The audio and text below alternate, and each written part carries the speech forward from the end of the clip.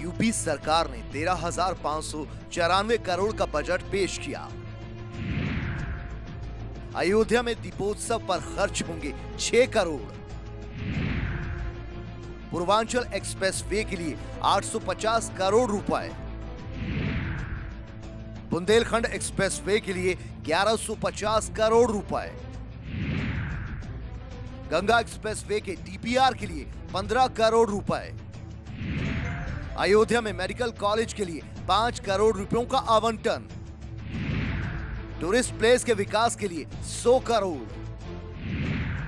Infrastructure, smart city, शिक्षा, स्वास्थ्य, धार्मिक एजेंडे पर होगा फोकस। आर नाइन टीवी की रिपोर्ट।